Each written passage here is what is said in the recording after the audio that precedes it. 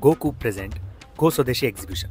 एक ऐसे एग्जीबिशन जहाँ पे भारत के हर स्टेट से आए हुए आर्टिस्ट अपने स्टेट की हैंडलूम आर्ट को प्रेजेंट करेंगे। So what are you waiting for चलो इस एग्जीबिशन को एक्सप्लोर करते हैं और देखते हैं भारत के हर स्टेट की हैंडलूम आर्ट की एक छोटी सी झलक।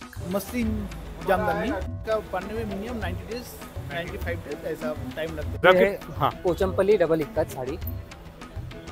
इसको कम से कम ये साड़ी बनने के लिए तीन से चार महीने लगते हैं। हमारे जो फैब्रिक की जो स्पेशलिटी है, वो ये है कि हमारा बगरू हैंड ब्लॉक है। इसमें हम पूरे natural and vegetables colours use करते हैं।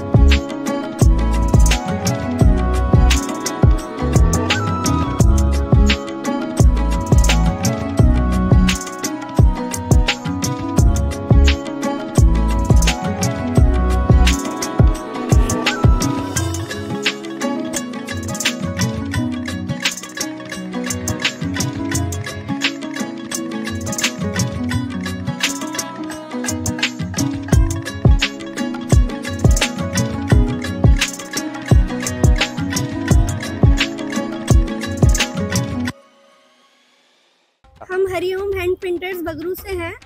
और हमारी कंपनी जो है वो 1851 से स्टार्टेड है। सिंस 1851 से हम काम कर रहे हैं। और हमारे जो फैब्रिक की जो स्पेशलिटी है वो ये है कि हमारा बगरू हैंड ब्लॉक है।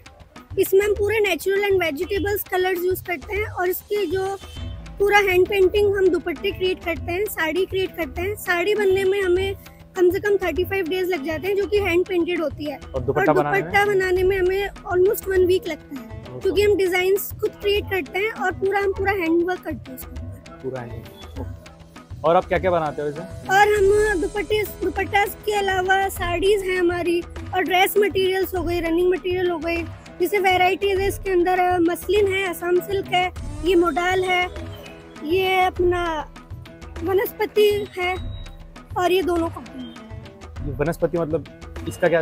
वनस्पति कॉटन है। ओके मतलब ये नेचुरल कॉटन है पूरा। हाँ ये अपना वेलवेट है ये वेलवेट हाँ। और इसके अंदर मेन चीज़ ये है कि हमारे फैब्रिक्स में जो वेजिटेबल्स और कलर्स यूज़ होते हैं ना वो पूरे नेचुरल इंग्रेडिएंट्स से यूज़ होते हैं। जैसे रेड कलर है उसके अंदर गोंद हो गया है ना और अनार का रस हो गया तो ये क्या है पूरा बॉडी को हार्म नहीं करता और पूरे नेचुरली है और इसकी कलर फास्टनेस की गारंटी है कलर आपका नहीं निकलेगा और सबसे ज़्यादा इसमें बेस्ट चीज़ ये है कि जैसे कि फॉरनर्स होते हैं उनको कलर का बहुत इशू रहता है। हाँ। तो उनके लिए बेस्ट है। ये। और अच्छा। हमारे जो मॉडल फैब्रिक है उसकी स्पेशलिटी ये है कि ये गर्मी में ठंडा रहता है और सर्दी में गर्म आप इसको कैसे भी वेयर कर सकते हैं। मतलब कोई भी और जो हमारी ड्रेस मटेरियल्स है ना हम्म, आप इसे किसी भी वे में आप इसको ड्रेस में ड्रेस भी बना सकते हो। आप इसका काफ्तान बना सकते हो। आप इसको कैसे भी ड्रैप कर सकते हो।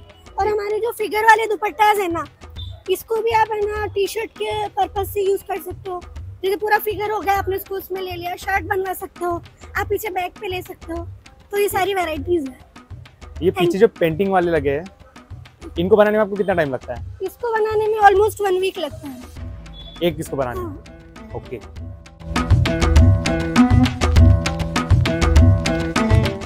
ये कलमकारी साड़ी है पेन कलमकारी जिसे पल्ला।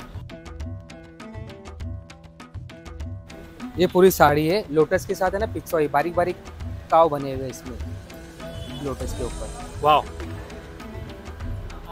ये बॉर्डर है बॉर्डर पे भी ऐसे पिकॉक है। इसको बनने में कितना टाइम लगता है इस साड़ी को? सो कम से कम डेढ़ महीना लगता है साड़ी बनने एक साड़ी को बनाने में डेढ़ महीना। हाँ पूरा हैट वीविंग है ना? ये ब्लाउज दिया हुआ है एक मीटर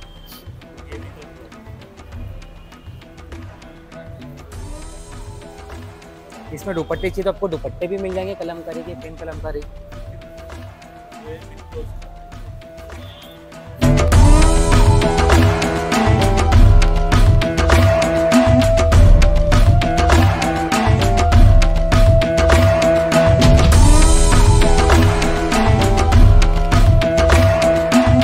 पोचमपली डबल इक्कत साड़ी। इसको कम से कम साड़ी बनने के तीन से चार महीने लगते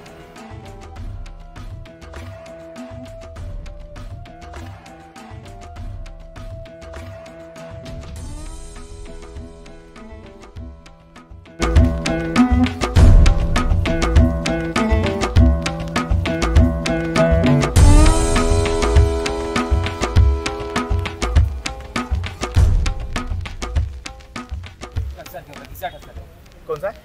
साढ़े सर हाँ।